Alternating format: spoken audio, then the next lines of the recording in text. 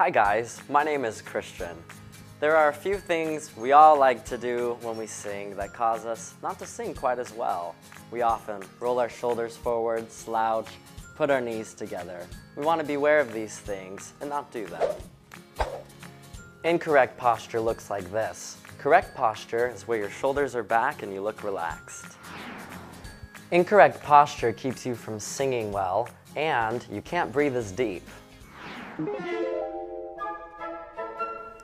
Don't roll your shoulders forward, you won't sound as good.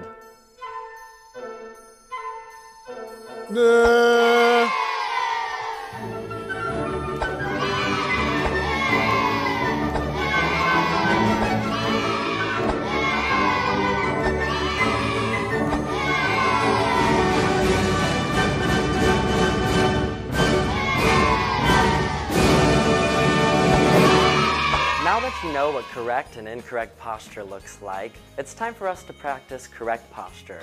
You can practice these at home or in your daily routine. But watch me first, then you try. Place your head, shoulders, and back against a wall and move forward. Hold that position for five minutes. If you begin to slouch, repeat and try again.